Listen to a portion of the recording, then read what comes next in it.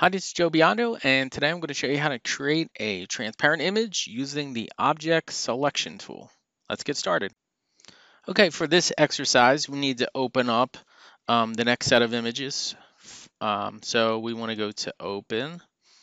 I'm in Exercise 7. We're going to click on Doctor, O2 Doctor Photo, and O2 Hospital Photo, right? So if you remember, if you hold if you click on one and hold control, you can select them both.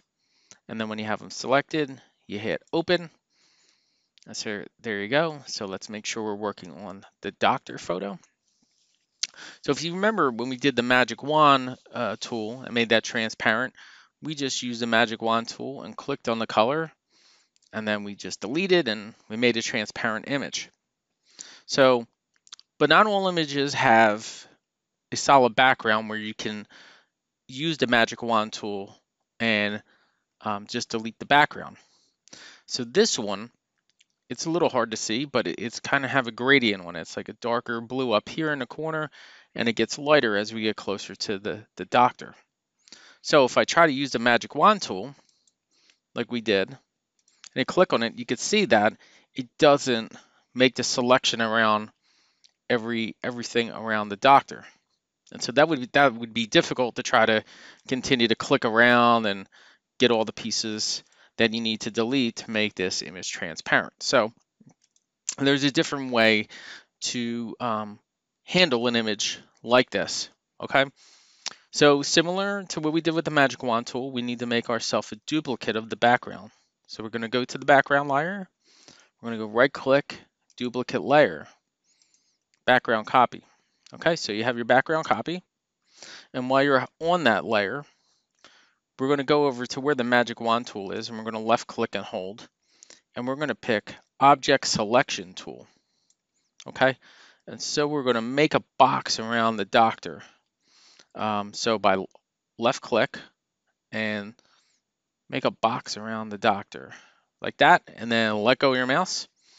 And so now Photoshop has detected this object on the screen and put the selection around it now, if you hit delete on this, it's going to delete the doctor and not the background because you're selecting the object and not the actual background. So what we want to do is we want to make sure we want to make the background to be the piece that we want to delete, not the doctor. So the so what we have to do here is we got to go select up at the top here, select, and then we're going to do inverse. Okay, and so now by selecting inverse, that means instead of having the doctor be the, the part that we want to delete, it's going to select all the background here. So while it's selected, you can go and click the delete button. Okay, and then you could do select, deselect, right? And then go back to the background layer here. Whoops. Um, the background layer and take the eyeball off. And there you have, you just made another transparent image out of a graphic with a kind of a tricky background. Okay. So um, to retain the transparency of this image, like I mentioned in the magic wand photo, is this image must be saved as a PNG file or PNG. And the way you would do that is File, Save As, and then you change your type to PNG, okay? And then you save that as PNG. And then you could use that image in PowerPoint or um, a website, anything that you want.